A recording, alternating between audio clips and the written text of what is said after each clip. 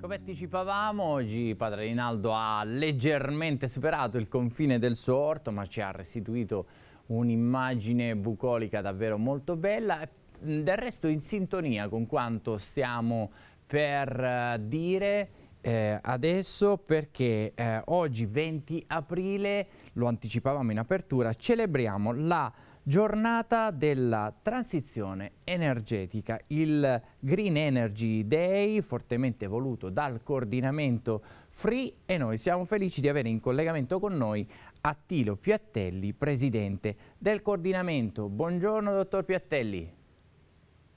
Buongiorno, mi sentite bene? Forte e chiaro, grazie per la sua disponibilità. Eh, proprio nel giorno in cui appunto eh, celebrate questa giornata molto importante a tutela dell'ambiente, quindi sarete anche molto impegnati, per cui apprezziamo molto la vostra disponibilità. Dunque, come si svolgerà questa giornata così bella e importante?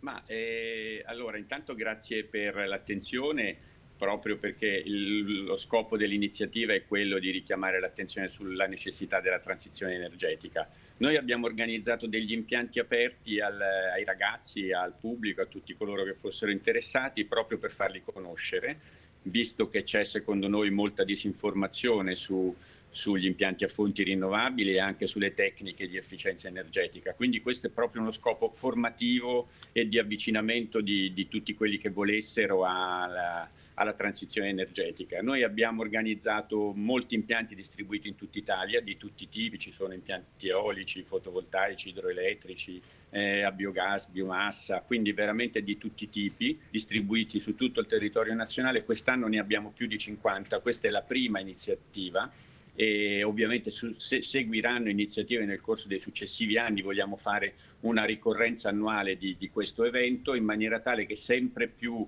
eh, diciamo sia, sia, facile avvicinarsi agli impianti che, a fonti rinnovabili e a quelle che sono le esigenze della transizione energetica.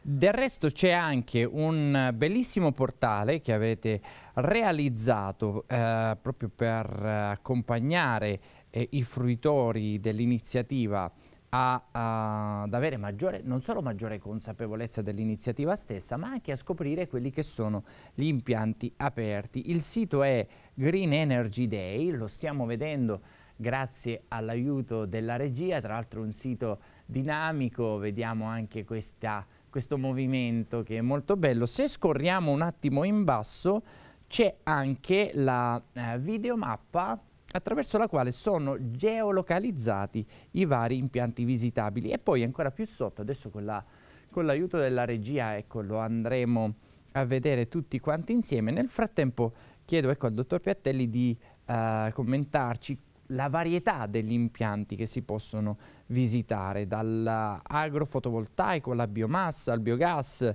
al fotovoltaico a tetto piuttosto che all'eolico, Uh, un, insomma, un carissimo uh, Presidente, sono tanti i modi per essere più sostenibili oggi, dobbiamo solo crederci fermamente e essere consapevoli, come diceva lei.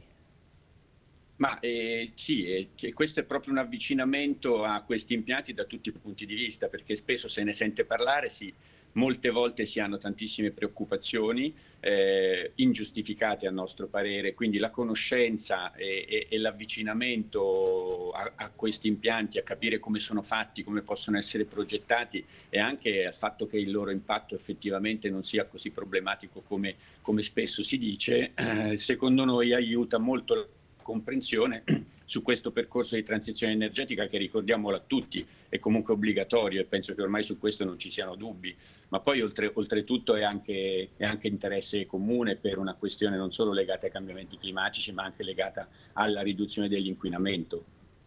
Molto bene, allora noi vi auguriamo una buona giornata della transizione energetica. Voi dove siete stamattina esattamente? Oggi ci siamo riuniti tutti a Taranto proprio per il lancio di questa iniziativa perché Taranto secondo noi e la Puglia in genere è sempre stata una regione interessante per le rinnovabili e Taranto in particolare è, un punto d'incontro fra quella che è l'industria, eh, anche l'industria pesante e quello che può essere il futuro, un futuro di rinnovabili, di possibilità di hub Uh, per l'eolico offshore in Italia, quindi c'è il primo impianto eolico offshore realizzato in Italia e nel Mediterraneo e quindi per questo motivo abbiamo deciso di scegliere Taranto come sede di lancio di questa iniziativa.